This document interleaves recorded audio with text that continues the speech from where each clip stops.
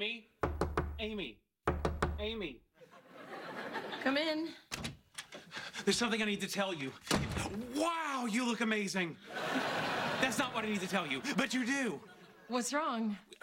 Something incredible just happened. Remember when you were telling me about my bow tie and how a little asymmetry is good?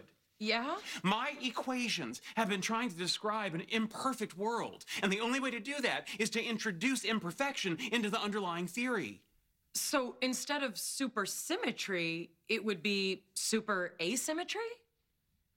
Super asymmetry. That's it. Give me your lipstick. What? Just give it to me, you beautiful thing. We have work to do. Hey, uh, the bride and groom seem to be running a little behind. Do you think you could stall? Stall? How? Hey, everybody! Uh, it's gonna be a few more minutes, but while we wait, does anyone have any questions about Star Wars?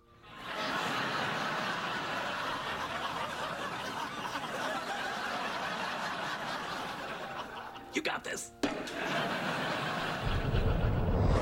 So if I make slightly asymmetric knots with sheets in four dimensions, then I can bootstrap the whole idea to a large asymmetry in 11 dimensions. Or maybe even at the initial moment of creation, the fundamental forces lacked symmetry.